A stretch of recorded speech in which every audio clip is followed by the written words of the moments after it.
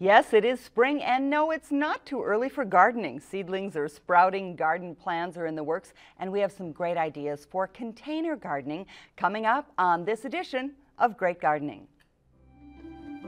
We celebrate each year um, as we receive it. For good nutrition, we need a balance of colors. I like to can because I'm a gardener we brought home an orchard for our community. This was just an overgrown area full of bramble.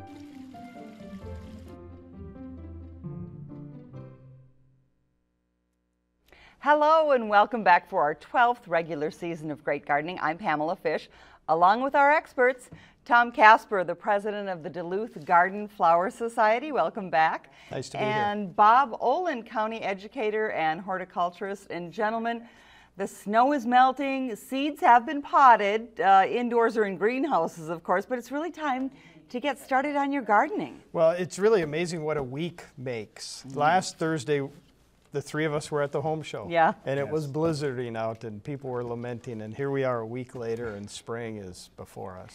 And we have some seedlings here, um, Bob, that you brought in. And right. how, how long ago were these planted?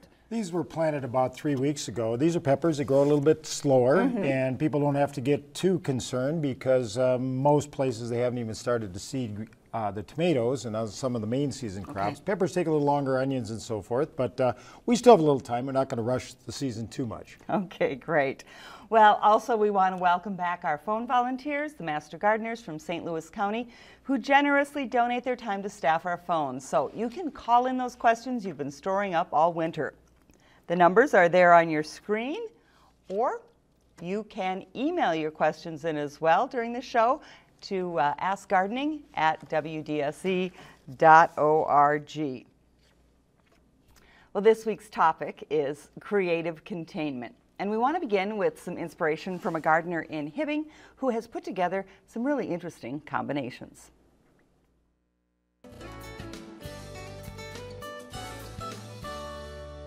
The interesting thing about this one is this is a host plant. This is a cordine, and I'm very fond of putting other things in my pots, so I, I put feathers in it.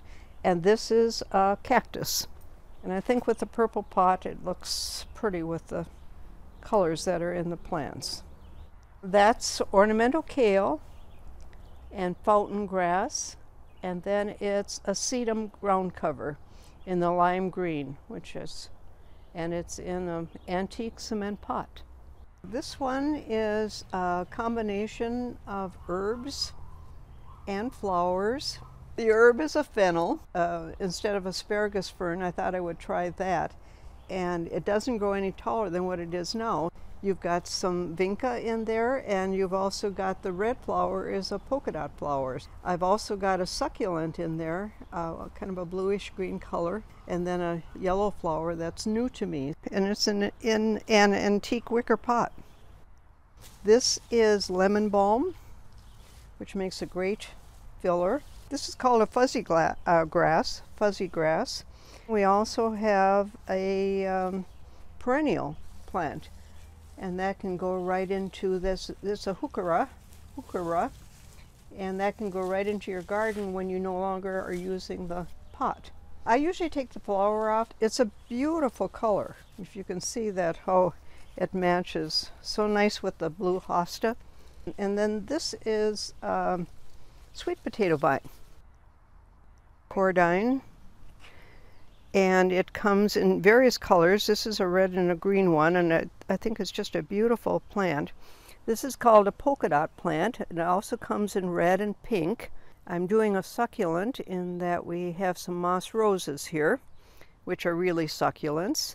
And then I also have a um, succulent rose plant, which brings out the pink and the green and the lime in it. And I've stuck a feather in its cap. Uh, that's called a cloche. If you've got something that needs support, you can use that or you can do your vining around it. Uh, that's filled with water and um, when I took the plant out of the plastic container, I just shook it a little bit, but basically I just plunked the whole thing into it and what needed to be weighted down there's a little bit of rock in there but i'm finding that any of the vincas or the vining things are really doing well. And then in there also is a water lettuce and that's basically used in ponds. This one has the kind of the basic um, supertunias or kelbaka it's a metal planter. So it can take quite a few. There's about six plants in there, but I think the baby tut is what really, really makes it, and the different colors that are in there. The combination is fountain grass, um, regular corn.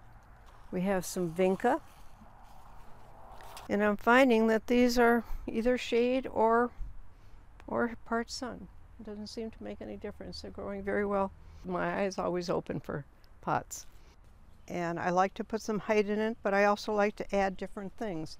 Uh, for example, over here, I added a sculpture to. That's Pan with his flute. I think that color combination is just absolutely gorgeous. Uh, you might not think to put that together, the orange and the pink, but it really works. Well, thanks again to Donna. She really had some unique and beautiful arrangements there. When you're putting things in a container, though, a couple things we need to consider about the soil and the moisture. Right, um, and she, of course, had one container that was water, and she was growing some plants. But most of them, we really want well drained. Uh, the opportunity to wick away that water. So, A good, good drainage, and you have to have a nutrient source from someplace. Okay. And uh, so I, I think uh, drainage, structure, and then where you're going to get the nutrients from. And you put those three things together, and you can grow in just about any kind of container, really. Is there a particular potting mix to use? There are a lot of them out there. Yeah. I, I think that um, you can even make your own. So there's there's a lot of versatility there. But once again, good drainage, and then you, you really have to have a nutrient source. Most of the containerized mixes will actually have some slow release uh, fertilizers in there. May have some nutrient balance, maybe a little lime in there. You can do something very similar, but you are going to have to supply nutrients to most of these mixes. So that'll be one of the water soluble fertilizers as you go through the growing season. and All you- right. you really want to make sure if you're making or mixing your own, that it's a nice light soil. Often you'll see where people will take soil right out of their garden, put it in their containers, and that just really doesn't work. It's just Okay. too heavy. So. Well, another type of container that's gaining a lot of notice is the straw bale. As you guys well know, planting a small garden inside a bale of straw does have its advantages. Yeah, we had some fun with this uh, last year when it kind of took off. And uh, it's a container in the sense that you've actually got the media on the inside. So you'll be conditioning these bales so that it actually starts to compost. You're adding nutrient. And then the outside shell tends to be kind of firm. It can save space. I really think that the biggest advantage, or one of them, is that you can grow this anyplace. If you've got a driveway, a patio, if you've got uh, our wonderful, what people call lakeside loam, the real heavy clays that are difficult to work in, or maybe even ledge rock. You can put them there, you can put them out in the full sun, 68 hours with the sun. So I think they're really has some advantages that way. Yeah, and uh, some things you have to consider though, uh, where you put it, because it, it needs Yeah, a certain amount of sun. You need good sun, 60, 68 hours of full sun. You have to be very careful. I mentioned this conditioning. Straw itself is basically just a carbon cellulose fiber. You're going to have to get that to break down. So there's going to have to be either a synthetic fertilizer or there's going to have to be a uh, some kind of organic fertilizer, but that's going to take time. It takes 14 in our area, 14 to 28 days to properly condition these bales. Fun for people to try. We'll hear more about that, I'm sure, as the season goes on. Yeah, we're going to evaluate last year's success, and maybe we can report what that uh, that evaluation looks like, and report some of those figures to you. Good. Well, the phones are ringing, questions to answer uh, coming in from our viewers tonight. But last weekend, as you mentioned, Tom, we were at the Arrowhead Home and Builders Show. We were there from Wednesday through Sunday. Tom and Bob were there Thursday night. Tom, uh, you were there for a lot of the weekend, Yep. and great people there. Um, we had master, volu- master gardener volunteers answering questions there, but also we brought some questions back. So let's take a look at one of them and get an answer from you guys. I'm wondering how to save the seeds from the Gerbera daisy. Is there a male and a female seed, and how do you do it? I like that sound. uh, good question, and and really they're pretty easy to save. Mm-hmm. Uh, you collect them in the fall as they're maturing. You want to do some uh, cold treatment to them in your refrigerator for over the winter. They need some amount of cold uh, exposure or cool exposure, not in the freezer, but rather the fridge. And then in the spring, you can uh, start germinating. They're a long germination, though, be- so people would have already wanted to start those if they wanted them for this summer. So. And also in answer to your question, no male and female. By the time you get to the seed, that combination has already occurred. It's already been fixed. That's right. Good. Here's another question for you. Well, I use seed tape for my radishes, and I put the seed tape in the soil, and I put I covered it as I was told. And then, interestingly, sections of that seed tape would come up with radishes, and other sections would produce nothing. So, how could this be, assuming all the seeds were put in the seed tape at the same time? It's an interesting question. Now, he said again that just sections were germinating. If in fact there was an occasional seed here or occasional seed there, I would suspect that the, the seed itself may not have 100% germination. None of them really do. But sections would mean there's probably going to be something different in the soil. I would think uh, moisture levels and continuity of moisture. To get the seeds to germinate properly, they have to be moistened, and then you need a certain amount of continuous moisture so they don't dry down. So I would rather suspect that uh, it has to do with the exact texture and moisture holding capacity of these dif- different portions of the soil. And- All and right. usually, Bob and I agree. But, Not this time. No, we'll agree again. okay. Oh, I was waiting for a better explanation for that than that one. I thought it was Getting along perfect. here. All right, on to the next question. I want to know how to transplant mature Concord grapes. They've been in for about 15 years. I want to pull them all up and move them about 60 miles south. It, it was actually kind of fun talking to him and his wife at the home show. I remember speaking to them after they had recorded this, and Yeah. and he's a recently got involved in growing grapes, and they were making wine and all sorts of things that he was experimenting with. But really, it's pretty easy. Grapes are pretty resilient. He'll want to dig those up uh, as soon as the soil is pliable here after the frost is out.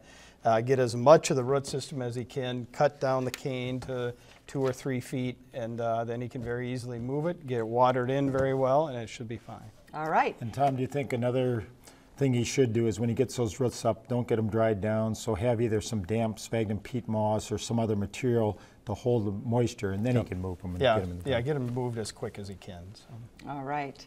One more question. This one about planting uh, from one location to another. I would like to take a cutting and start a new tree.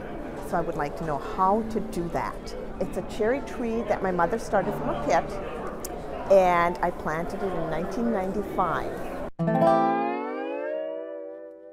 You know, I'd like to know how to do that too, Tom. Yeah. it's a little tricky, that, that particular process. She's taking a vegetative cutting from a woody. And um, we should really do that probably a little bit earlier in the season. March would be a good time, but if she doesn't have that as an option, I'd do it right now. And you're going to take these cuttings and you're going to take plenty of them because not many of them will root. You're going to have to stick them in a damp sand and then you're going to have to cover that with some kind of a poly so it doesn't dry down because all the moisture is going to have to wick up into that twig until you can develop some root system. A little bit tricky. Uh, you got to got to keep that top stock, that scion, moist. So spritz it underneath that uh, that plastic covering. Can be done, but she might get one out of 20 cuttings it actually takes and roots for her. And, and keep it out of the direct sun while she's Yeah, rooting you can it. burn it uh, pretty badly if it's in the direct sun. Yeah. So keep All it right. cool. Well, we hope Gladys has luck with that because uh, we've seen that tree and it's beautiful. It's beautiful, It yeah. is. Just a couple more questions before we move on. These came in on the phone tonight. Um, and one was what, what type of plants grow well in a straw bale? Are there particular ones? You know, you can grow just about anything really in a straw bale that you can grow in your garden. Uh, a little trickier if you're going to direct seed, you want to use some potting soil on the top of the bale, but anything that you can transplant, uh, you basically can grow in a straw bale. And, and we've seen some of those pictures over time where people are growing potatoes and tomatoes and peppers and coleus and petunias, all sorts of different things on them. So This is another thing in the survey of people that are straw baling. We're going to ask if they have a preference or if they've had better success with one crop versus another. We had somebody at the home show who came from Cloquet and said they had great success with Roma tomatoes in their straw bales. So just passing that along. yay, cloquet. Marion in Duluth wants to know when can I take the bagged leaves off that are covering my perennials? Um, we're probably not there yet. What I suggest doing and what I personally do is I'm going to peek under them every couple of days, lift up the bags if, if the snow is off of it. We're still a little early. We still can get some of these cold temperatures. So they're right now sort of helping slow that down a little bit. We don't want to see a lot of growth yet on some of those tender perennials. So hold off another week or so and she should be good. You know, Tom, what you'll find is the same thing is true of taking strawberry, straw off your strawberries or off your garlic. Uh, yeah, hold them back as much as you can. I hate to say it, we may still have some winter left or cooler don't say temperatures. It. Don't, say, say, don't say the S word. But yeah, we won't.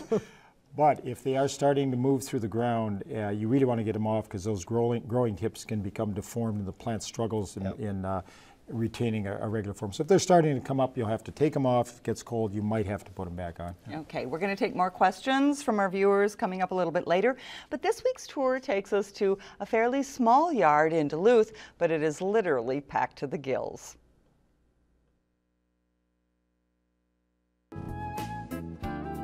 My name is Kathy Bomey. I live here in Duluth on Glenwood Street, and welcome to my garden. A lot of little shrubs have just kind of uh, found their way here.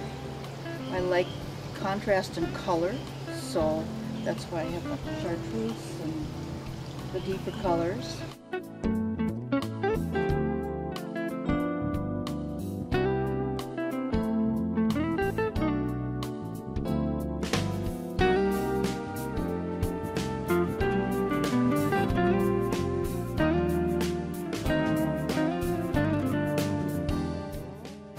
Glow Tamarisk.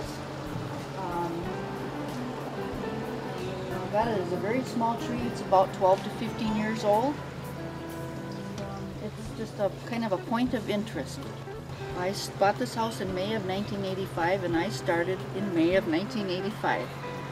So there was not a garden here and I had no intention in filling the whole yard in but it just came to being of wanting plants and acquiring things from friends, splitting my own things. And uh, I, I don't like to mow, so what you see, what we're standing on is pretty much it.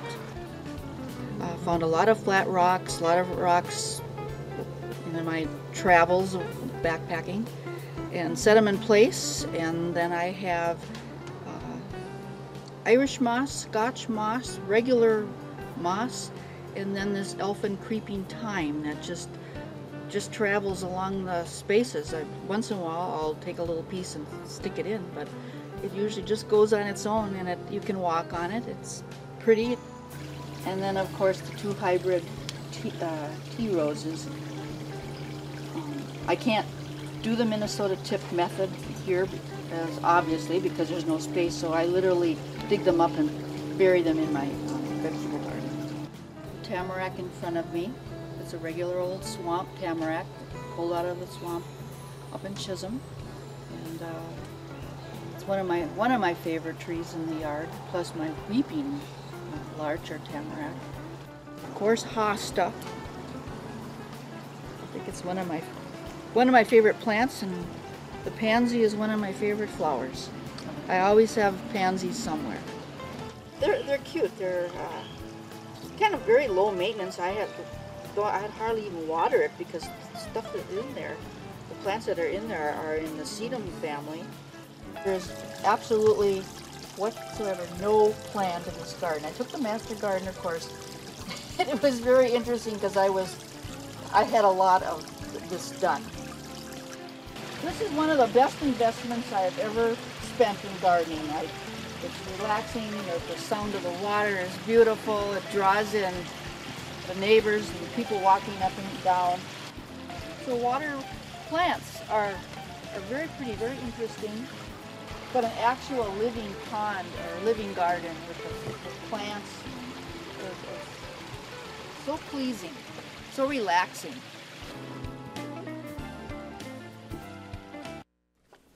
Thanks again to Kathy. Uh, that was a beautiful tour. We, we love being there. We're going to check back with her later. But right now, questions are coming in fast and furious. Another one about straw bales. It, actually, it's a comment, and I just want to share it. It's from Terry in Two Harbors, who said after he was done with the straw bale for the season, it broke open. He threw some pumpkin seeds on it, and it had his best pumpkins ever.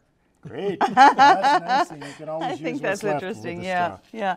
You know, we had a question out of uh, Virginia, if I can find it here, about how do I start a community garden, and also can I use old mining tires for a garden? That's Wanda in Virginia. Well, the, the, the Duluth Community Garden Program that we have featured uh, uh, several times on the show over the years, and Bob was instrumental in the creation of more than two decades ago. We when he was tell in his teens. Yeah, Um, yeah. uh, Just a baby gardener. they're, they're a great resource for other communities that want to do something that is successful like uh, the Duluth Community Garden Program is. So I would contact them if they're looking to do something and Sure. get some ideas from And what about those uh, old mining tires? They'll work. You can use them, sure, and uh, they, I don't think you really have to worry about a lot of residue. Always um, edibles toward the center of any kind of a, an artificial product like that, carrots and so forth, and, and your other crops can go around the outside. Great. Dennis from Eveleth wants to know, can you grow blueberries in a container? And if so, do you have to put the bush in the ground during the winter? Oh, he's got it. Uh, the, the problem with blueberries is the roots are going to be hardy, but only if they're down in the ground. So if he's, you can grow them in the containers, they're not a real aggressive root system, but you're really going to have to protect them, and submerging that container in the ground is a good idea. But it's going to have to be a fairly substantial container. All right. Uh, Luann from Ashland, we got this one at the home show, wanted to know when I prune my snowball viburnum, when do I prune my mock orange blizzard? Well, both of them are spring bloomers, uh, so she'll want to wait till after they bloom. Unless she doesn't care about the bloom or if there's snow damage, uh, she can go in now and start cleaning those up and getting the, the broken canes or the broken uh, branches out, and then they'll be fine. So. Okay. And both prune up pretty well, really. Yep. Shirley in Fayette Township wants to know where do I get a large amount of soil for a vegetable garden and what product is best? Boy, you know, that's a real challenging question. I know the part of the county she's in. There are quote unquote soil, or they like to call themselves dirt suppliers, and you really have to ask the intelligent questions. You're looking for a sandy loam mineral soil, maybe amended with a peat. So you just keep asking, ask for soil tests. Uh, you're looking for that sandy loam, and you can find some suppliers that do have it available. Okay, one, one more quick one. How much uh, longer can Judy prune an oak tree, or is it too late? Judy in Duluth. Can she still prune an oak tree? Uh, Should she prune an oak tree? You know, I, w- I would probably stay away entirely until we come into the fall because of the risk of uh, oak wilt.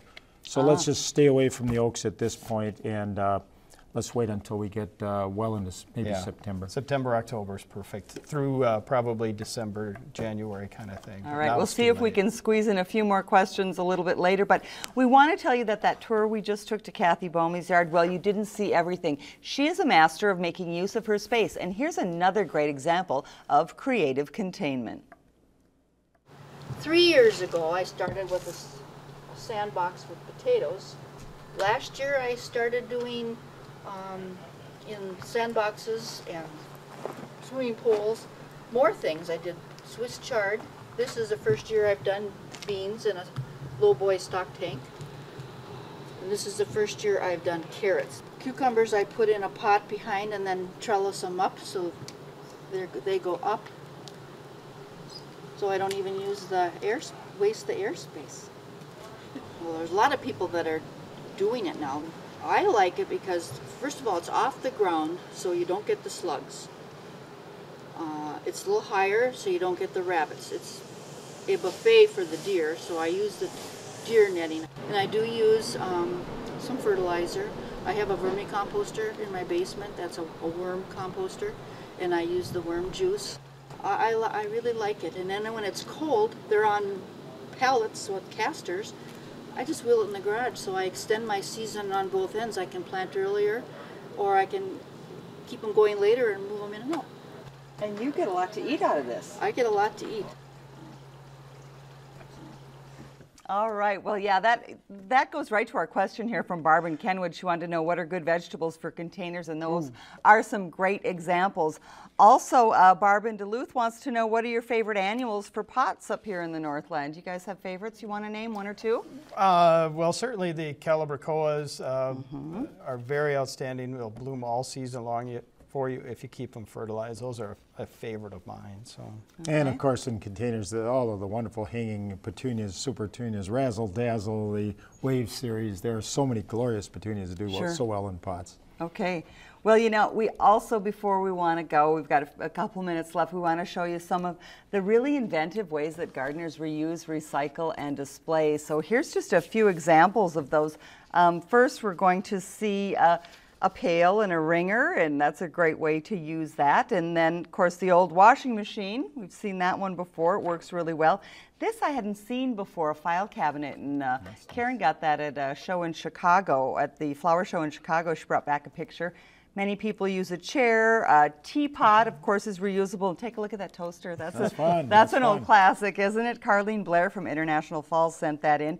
And, you know, people use five-gallon buckets for vegetables a lot, don't they? Yeah. Make sure you got some drainage in the bottom. That's a that's actually a pretty good container. Okay, and then here are some more things from, from Carlene, and uh, she likes to use the old ice cube tray and the old measuring cups, and really a, a creative way to fill up your containers and make a, a cute arrangement. Well, and it, and it really harkens to that there's really no wrong way as long as you're following some of the principles or wrong things to use. They're all interesting and fun and, and remind us of like the old washing machine that some of us are old enough to remember having seen one of those in use.